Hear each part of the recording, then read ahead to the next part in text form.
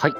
UDEX です。さあ、今回はですね、えー、UDEX レディオということで、まあね、ラジオ風にね、えー私、ナビゲーションを行って、今回はね、えー僕が仕事終わりでね、いつもどういったね、えーこのボタニカルライフのルーティンをしてるかっていうのね、え模様を見ていただきながらね、え皆さんに、えラジオ感覚で聞いていただきたいので、ぜひね、えなんか作業しながら、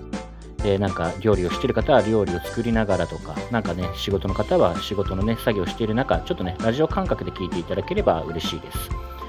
はい。まずですね、僕のね、このボタニカルライフを行うにあって、このね、ルーティンっていうのが一つありまして、まあ、毎日はね、ちょっと仕事の都合でできないんですけど、必ずね、えー仕事がちょっと早めに18時頃とか、ね、ちょっと早めに終わった後は必ずね、えー今、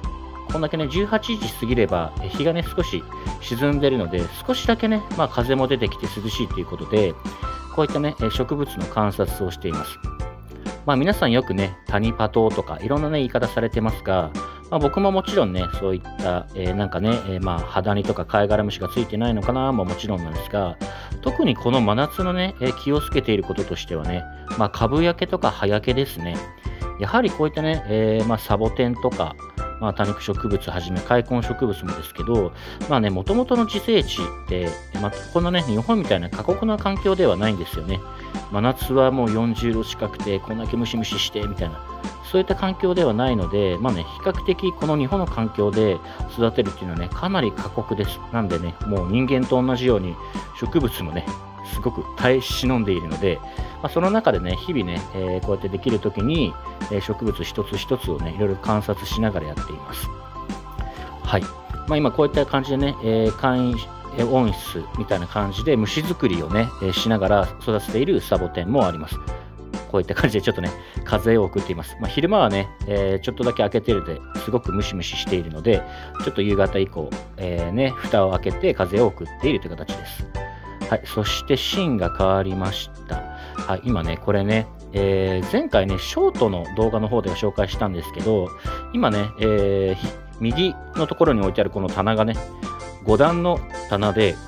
これ何がおすすめかというと、皆さんがよくね、えー使っていると思います。この51型のトレイがあると思うんですけど、このトレイがね、すっぽりと入るんですよ。で、それがね、えー5個入るし、で、結構ね、えーコンパクトなので、えよくベランダで育ててる方か、えちょっと置き場所スペース困ってるなっていう方は、ぜひね、この、えー棚おすすめなので、ぜひね、えチャンネルのね、リンクにも貼ってあるので、ぜひそちらからね、チェックしてみてください。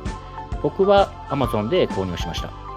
まあ、ここにはね、えーアロエがほとんど置いてあるんですけど、アロエの他に今目の前にね、ビカクシダのね、リドレーとか、まあ、ベイチーとか、いろいろなね、植物もちょっとかけたりとかしています。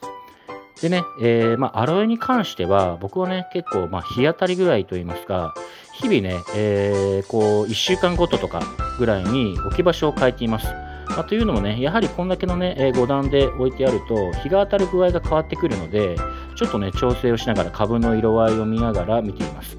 まあ、特に起用しているのが、まあね、えーまあ、徒長といいますかね、その葉っぱがね、えー徒長しないように、まんべんなく日がね、それぞれ当たるように、ちょっと置き場所を変えたりとか、えーいろいろね、株を見ながら調整しています。